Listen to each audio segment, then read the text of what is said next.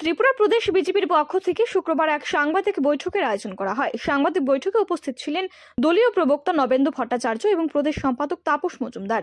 বৃহস্পতিবার বিশালগড়ে সিপিআইএম কেডারদের দ্বারা সংগঠিত হিংসা সম্পর্কে প্রদেশ বিজেপির দৃষ্টিভঙ্গি তুলে ধরেন নবেন্দু ভট্টাচার্য।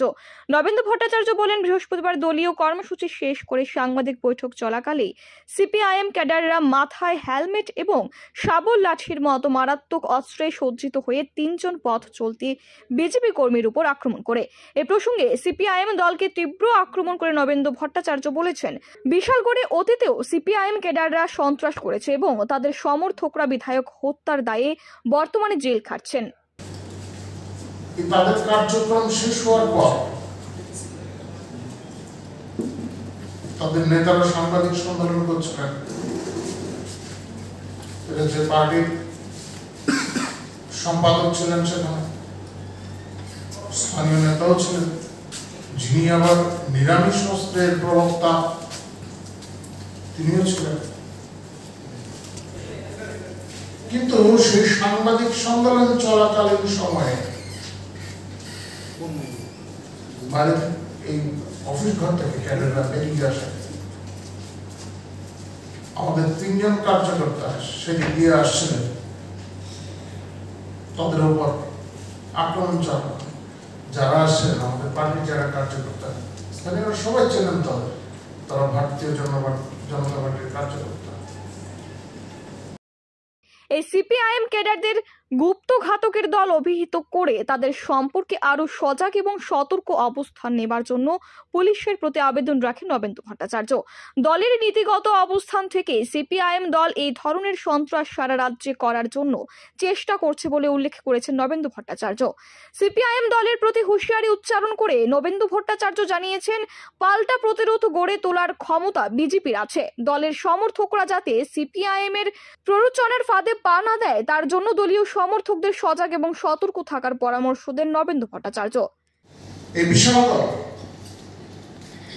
অনেক রাজনৈতিক সন্ত্রাসের দৃষ্টান্ত এখনও বহন করে চলেছে। সিপিএম এর অনেক নেতা আছেন যারা জেল খাচ্ছেন। বিধায়ক হত্যার দায়ে।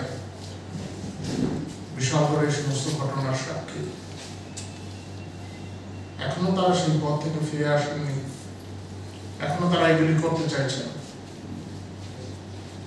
রাজ্যের বিভিন্ন স্থানে এই ধরনের সন্ত্রাস সৃষ্টির তারা চেষ্টা করছে। কারণ গুপ্ত ঘাতকের দল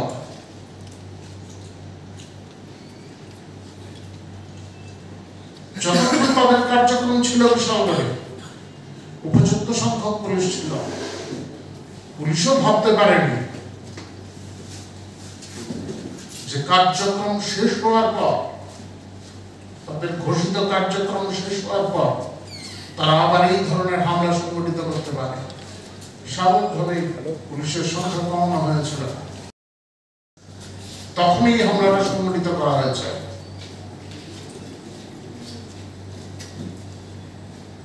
সুরক্ষা বাহিনীর কাছে আমাদের অনুরোধ থাকবে।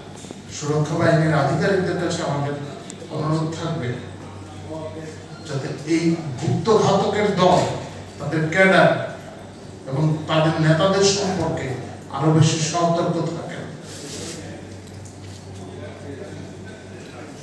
কারণ তারা যে কোনো সময় যে যে কোনো ধরনের হিংসা সংগঠিত করতে পারে এটা তাদের নীতিগত অবস্থান এবং তাদের নীতিগত অবস্থান থেকে এই সমস্ত কাজ তারা করে। রাজ্যের বিভিন্ন জায়গায় এই ধরনের ঘটনা সংঘটিত করার চেষ্টা তারা করছে। আমাদের কাছে খবর রয়েছে। ইতিমধ্যেই আমাদের পার্টির কার্যকর্তাদের, স্থানীয় কার্যকর্তাদের, রাজ্যের বিভিন্ন স্থানীয় কার্যকর্তাদের আমরা আমাদের দিয়েছে যাতে কোনো প্ররোচনার ফাঁদে তারা হবে শাসক দলের কার্যকর্তা হিসাবে যতটা সম্ভব